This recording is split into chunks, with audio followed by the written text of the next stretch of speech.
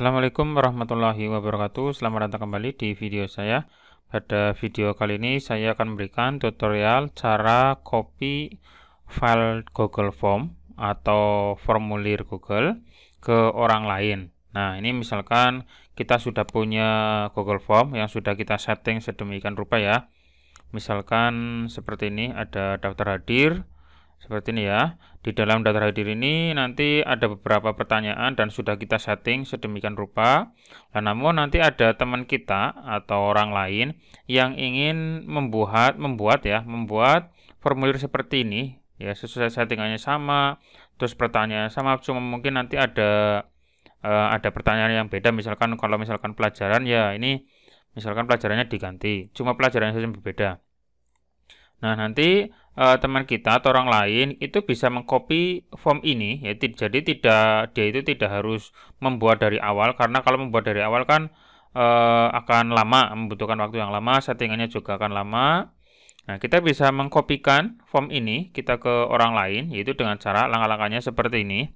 Nah ini contohnya uh, eh, HP teman kita yang akan kita kopikan ya akan kita kirimi uh, form seperti ini ya, daftar hadir kelas 10 misalkan. Jadi form ini sudah disetting, lalu akan dimasukkan atau dikopikan ke akun lain yang ada di HP ini. Nah, langkah pertama adalah kita atau teman kita harus menyiapkan satu folder dulu supaya nanti gampang uh, menempatkannya ya. Jadi suruh membuat folder, silakan buat folder dulu. Nah, seperti ini misalkan uh, nama foldernya adalah daftar hadir 2020 misalkan ya. Ini adalah folder barunya, lalu dibuat. Kemudian nanti muncul satu buah folder baru. Nah, ini seperti ini yang nomor 2. Terus kemudian folder ini suruh dibagikan ke kita yang akan membaginya. Yaitu dengan cara klik menu yang pojok sebelah kanan. Itu kan ada menu titik tiga. Diklik kemudian e, pilih bagikan. Kemudian suruh mengetikkan email kita. Ya email yang e, dipakai untuk ini yang form ini ya. Misalkan seperti ini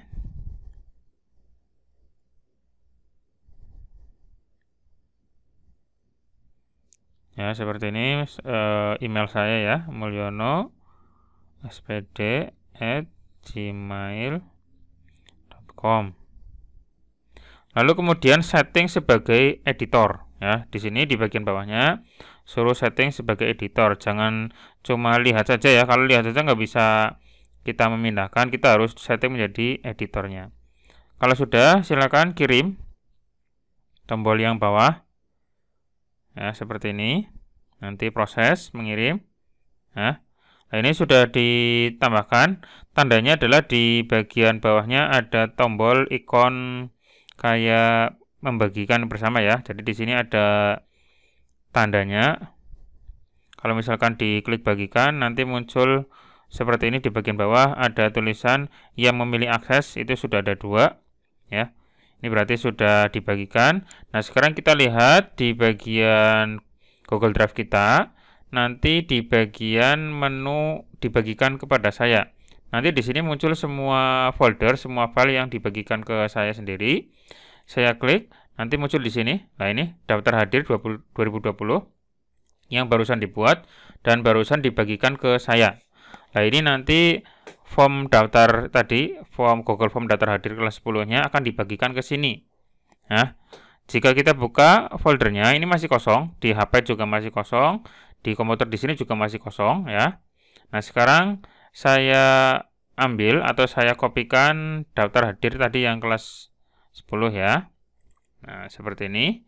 Ini nanti form ini akan kita bagikan atau kita kopikan ke folder tadi. Yaitu dengan cara kita buat salinan dulu, kita buat kopian dulu yaitu dengan cara klik kanan Terus nanti di sini ada tombol buat salinan. Ya, jadi kita buat salinan atau kopian dari file form ini ya. Itu dengan cara klik kanan, buat salinan. nanti akan muncul file baru atau form baru yang di depannya ada tulisan salinan. Nah ini ya, salinan daftar hadir kelas 10. Nah ini adalah kopian dari ini. Ini isinya sama, tampilannya sama, settingannya pun sama. Jadi tidak perlu kita buat dari nol lagi. Nah terus salinan ini kita pindahkan, ya kita pindahkan ke folder yang tadi. Folder tadi itu yang tulisannya adalah daftar hadir 2020 ya. Oke, sal file salinan tadi yang ini kita pindahkan klik kanan ya klik kanan terus pindahkan ke nah jadi dipindahkan ke folder yang sudah dibuat tadi kita klik pindahkan ke dan nanti di sini muncul pilihan. Daftar hadir online. Ini adalah folder yang ini persis. Terus kita back atau kembali.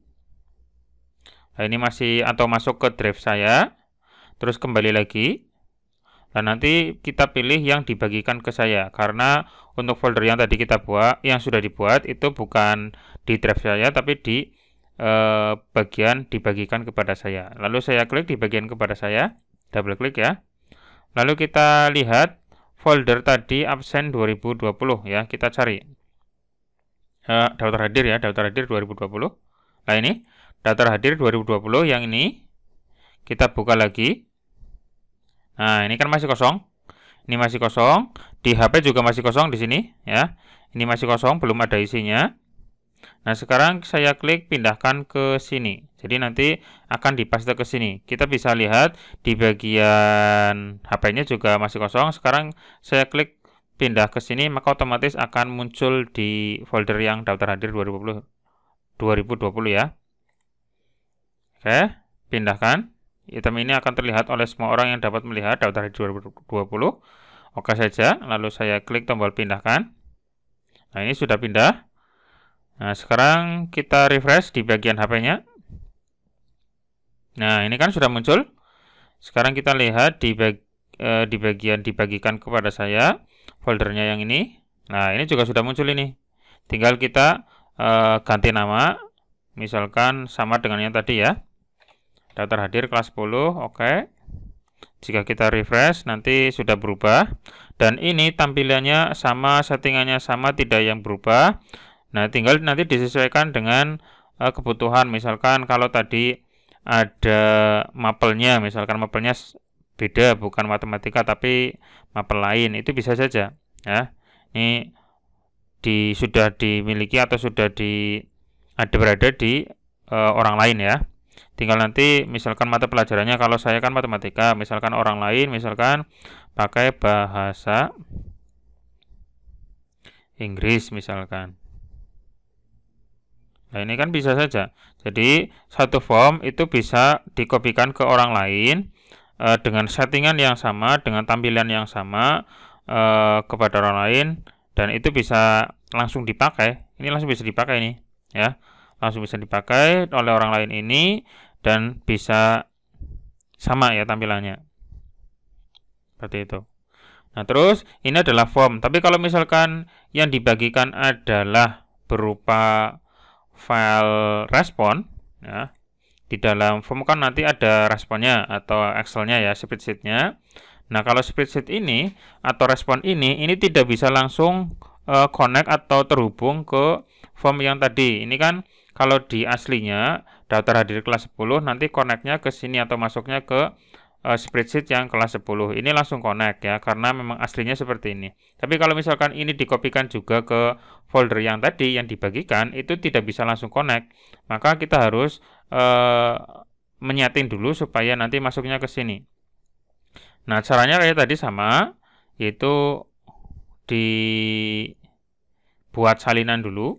Nanti muncul file salinan daftar hadir manusia kelas 10 tapi bentuknya spreadsheet ya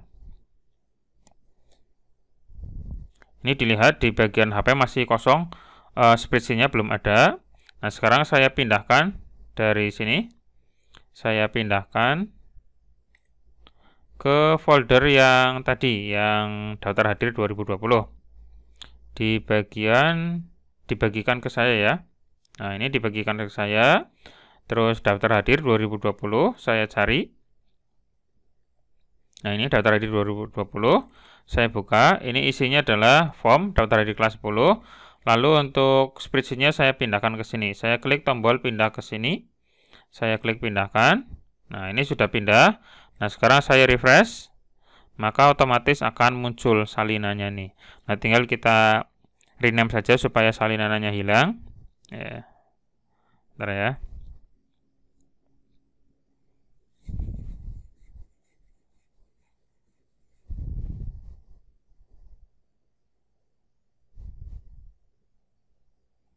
Itu dengan cara klik ganti nama atau rename ya tulisannya. Lalu saya ganti.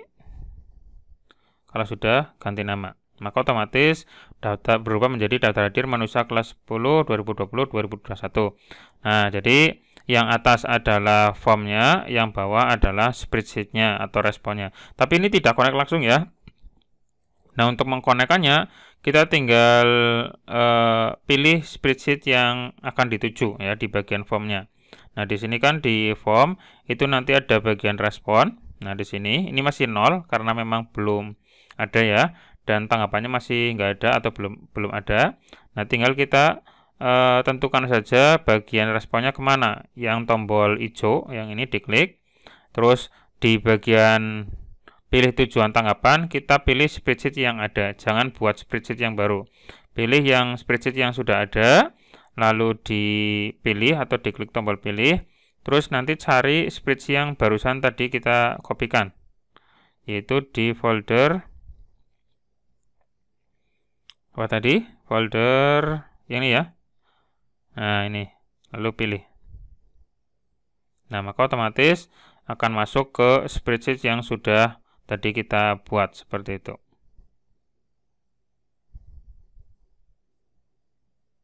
Nah, seperti ini ya. Ini sudah membuka, sudah connect.